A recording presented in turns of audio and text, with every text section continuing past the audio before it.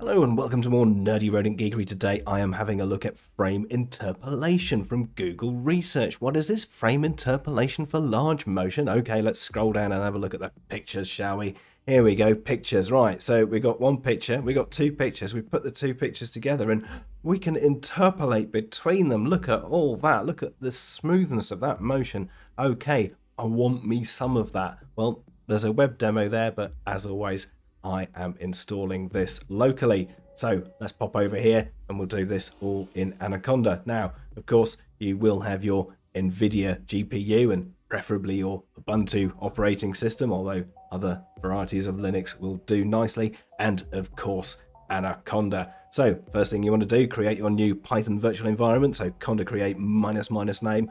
I called it frame interpolation.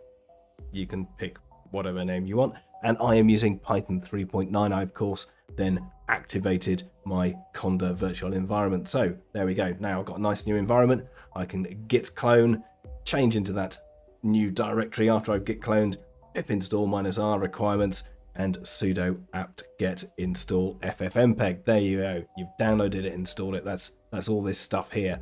Yeah, pip install minus r, all that. Yeah.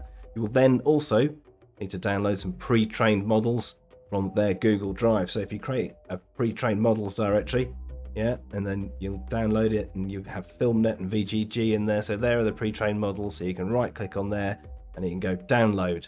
Yeah, yeah, okay. So you download, put them into pre-trained models, and then you've got it like that, exactly like it shows there. Yep, okay, brilliant. Okay, so you've downloaded it, you've installed it, you are now ready to run the codes. We're running the codes. All right, let's run the codes, shall we? Got that one there. Copy pasted in here. There we go. Copy pasta now while that's doing its thing we'll just show you what it's actually doing. So it's going from photo 1 and photo 2 so we've got photo 1 there. We've got photo 2 there. Okay whoopsie. And it's going to generate a frame called middle that's going to be somewhere in between those two. Yeah? So there's middle. Look at that.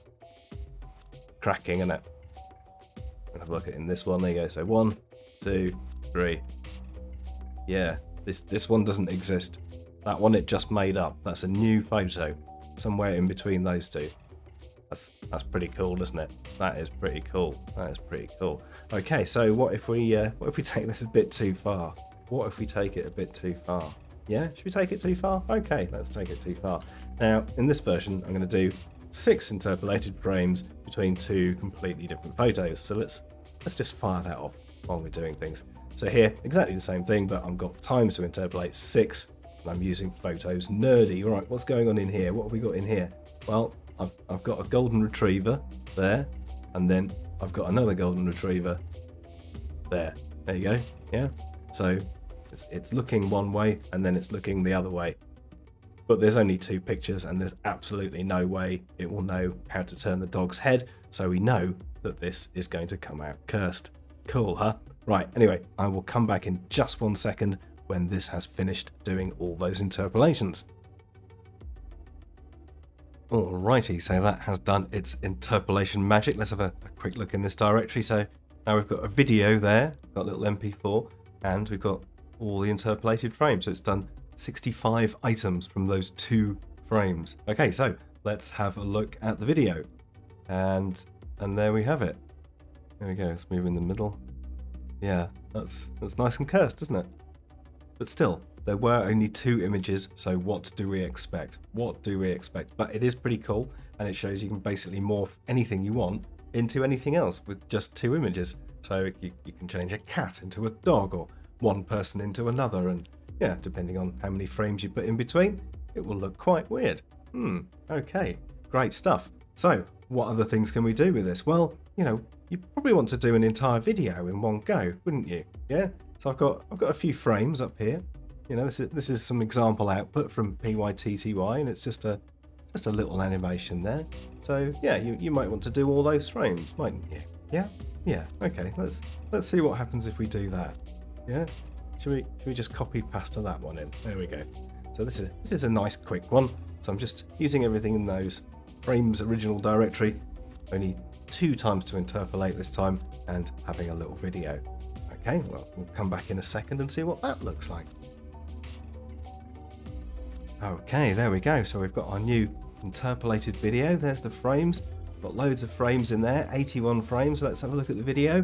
And it, oh, oh, what's what's going on there? Why why is it bouncing around? Yeah, it's it's it's because it's it just does all the frames in random order. Really, does all the frames in random order. But it doesn't matter. It doesn't matter because nerds do things. So here we are, nerds doing things. Um, I've basically changed it so you can just throw video frames in there. So if you want to go up to my fork. There we go.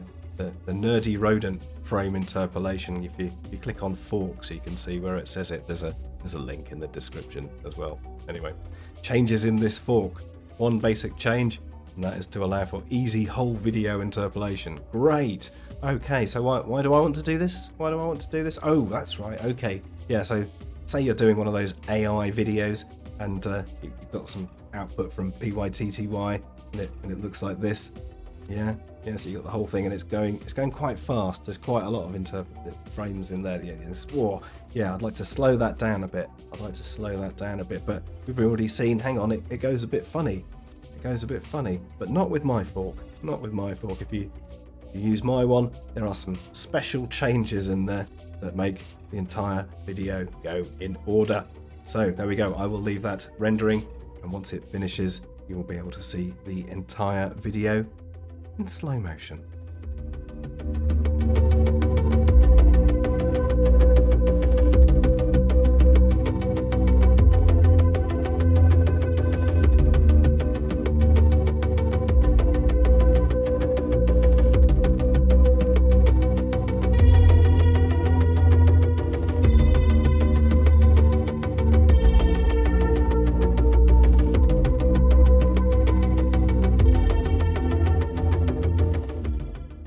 So there you go. That was pretty cool, wasn't it? Now, if you need to learn about some other nerdy stuff, then what you could do is look at a couple of these videos here.